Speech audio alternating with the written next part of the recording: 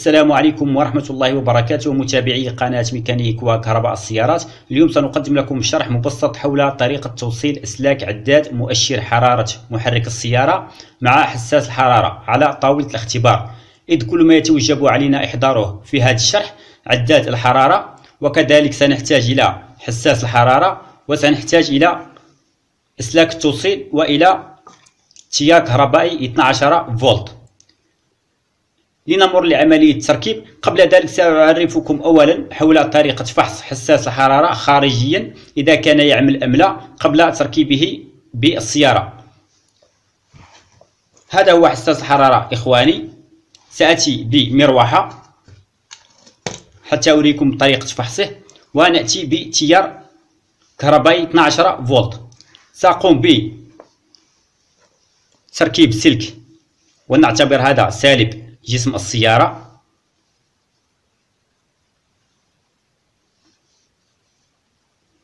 ونقوم بتوصيله مباشرة بسالب ثم نأتي بالموجب. أقوم بتوصيله بالمروحة. بهذا الشكل.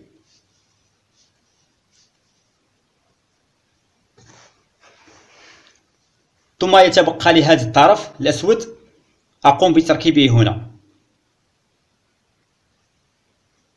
للمروحة. يعني هذا الحساس يعتبر قاطعة سنقوم الآن بوضع الحرارة عليه بهذا الشكل. وسنلاحظ المروحة. نلاحظ بدأت في عملية الدوران بهذا الشكل. يعني الحساس جيد. إذا لم تعمل معنا فنعرف أن الحساس غير جيد. بهذا الشكل تعمل إخواني وهذه هي الدارة البسيطة. بهذا الشكل.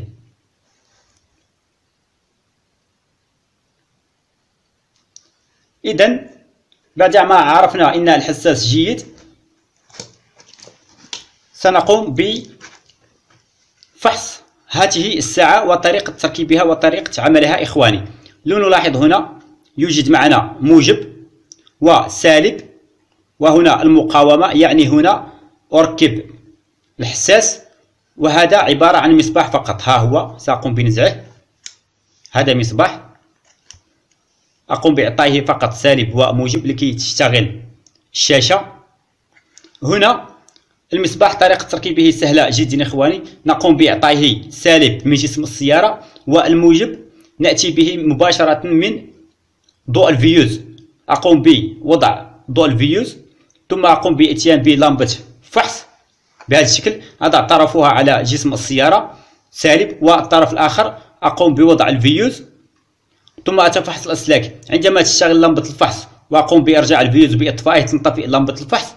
ذلك هو السلك الذي أبحث عنه. أقوم بتجريح ذلك السلك واستخراج منه سلك وأقوم بوضعه هنا. وهنا سالب. بحيث عندما أقوم ب عندما يأتي الليل أقوم بتشغيل ال veilleuse تشتغل معي الشاشة. انتهينا من المصباح.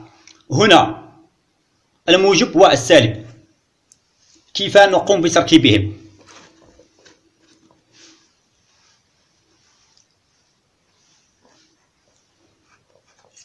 نأتي بسلك.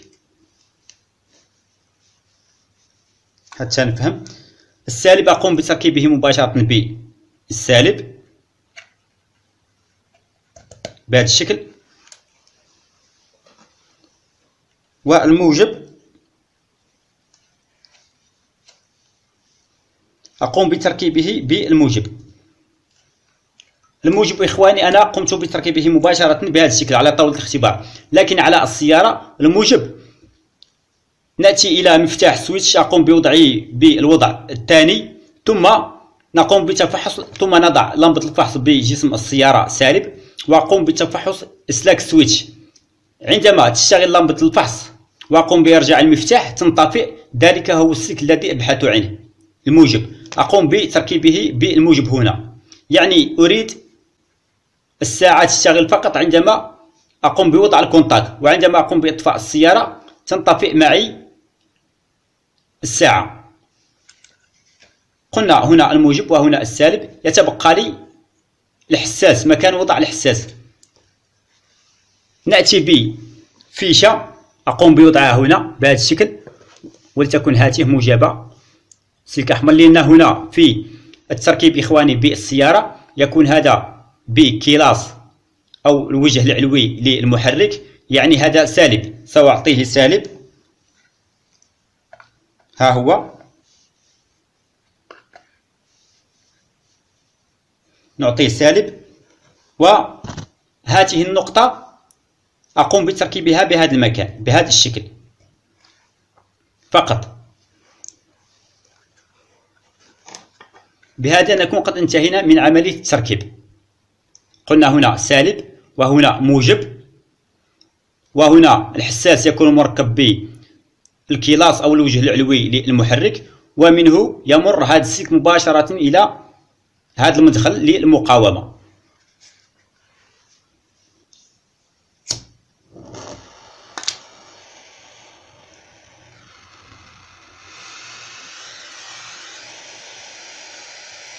ثم نقوم بتسخين الحساس بهذا الشكل.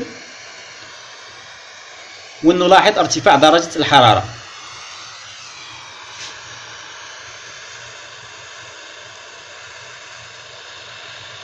نلاحظ ارتفاع درجة الحرارة.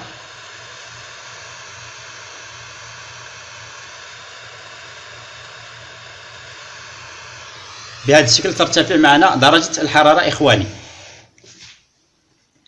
هذا هو التركيب. لساعة أو عداد مؤشر حرارة المحرك. بدأت في الانخفاض. يعني أحسن توصيلة إخواني عندما تشتري وطريقة سهلة لعملية تركيبها. الساعة إذا ما أردنا تشغيلها تقوم فقط بوضع لو نلاحظ هنا السالب والموجب. أقوم بوضع سلك هنا وسلك هنا وستشتغل معي. شاهدوا اشتغلت معي. ها هي. وبهذا الشكل تشتغل ونلاحظ انخفاض درجة الحرارة بهذا الشكل إخواني. يعني تستطيع تركيبها بنفسك دون الذهاب إلى كهربائي السيارات. تركيبة سهلة. في فيديو آخر سيكون درس عملي حول تركيبه على السيارة. إذا أعجبك الفيديو لا تبخل علينا بنشره في الدال على الخير كفاعله. دمتم في رعاية الله وحفظه والسلام عليكم ورحمة الله وبركاته.